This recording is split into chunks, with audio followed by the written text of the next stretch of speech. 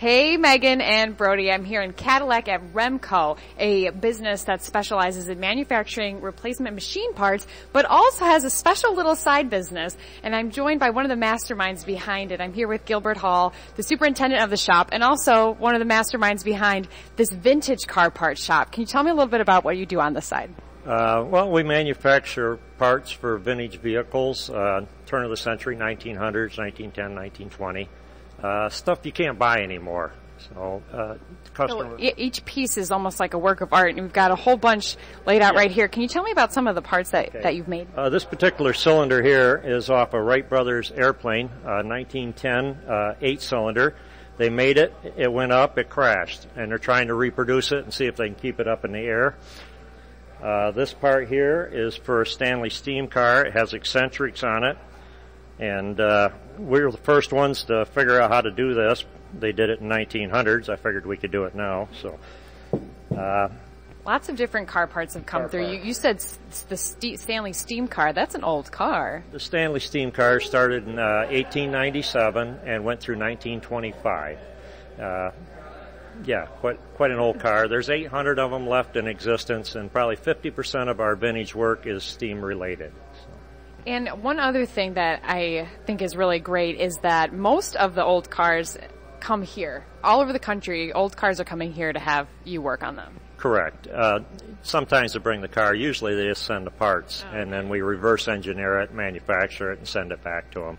But on occasions, they do bring their cars, yes. What do you think is the oldest car you've worked on? Uh, 1901, I believe. Uh, we have a 1887 uh, boat launch, steam powered boat launch here. So that's probably the oldest engine we've worked on. And I like these two. These are hubcaps, you said. These are uh, Stanley hubcaps, normally made out of brass, nickel plated, and I started manufacturing them out of stainless steel. That way, there you can uh, rebuff them after you tighten them up if you scuff them up. So you're not ruining your nickel. This is kind of a personal thing for you as well. You kind of have your own collection of old cars. Yeah, Can you tell me about some of the old ones you have? Uh, I have five Model Ts from 1927 to 1915, and we run them. I'm a past president of the Model T Club International. We go on national tours every year throughout the country, and we run them quite a bit. I also have a steam car myself, and I do do some steam tours with that. Mine is not finished, so I've been borrowing cars or riding. So. All right, and one other thing I wanted to show. This is an old, this, this is, is an 19, engine. 1912, 30 horsepower Stanley engine. This set a speed record in 1906 for 126 miles an hour, this size engine, which we have hooked up to air. Can we uh, see it run a little? Yeah, this is 80 pounds pressure. This normally runs on 650 psi, but.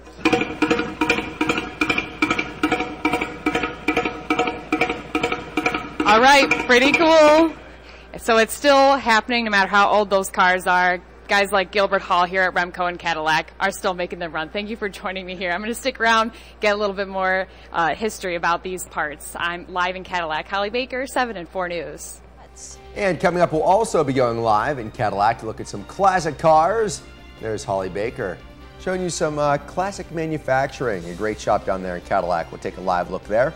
Later on this morning, stay tuned. You're waking up with 7 and 4 News today.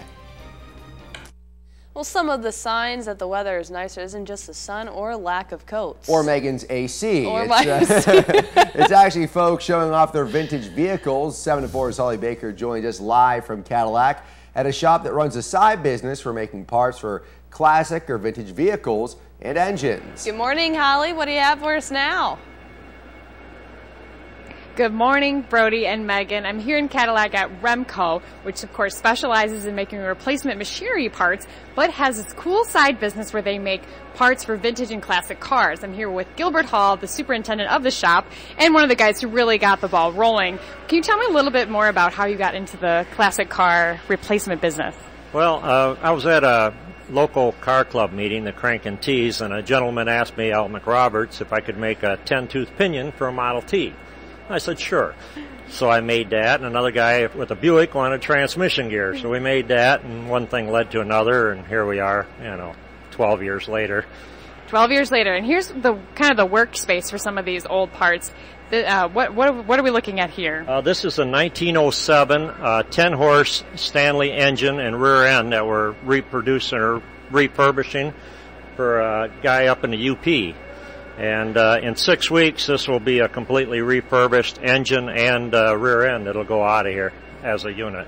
And with these old parts, what's the kind of work that goes into the? What's the labor? And you know, it's all handmade. It's so basically labor intensive. Uh, we disassemble it, sandblast it, uh, reverse engineer uh, everything. Like this gear, we've never done one of these. Uh, we've probably done a hundred different Stanleys and never done this particular one. So we have to draw that up on a blueprint and then manufacture it. Uh, these are your valves. It's a D valve. We remachine that, lap it in, grind the valves. Uh, pistons, piston rods will be ground and rechromed or replaced if necessary.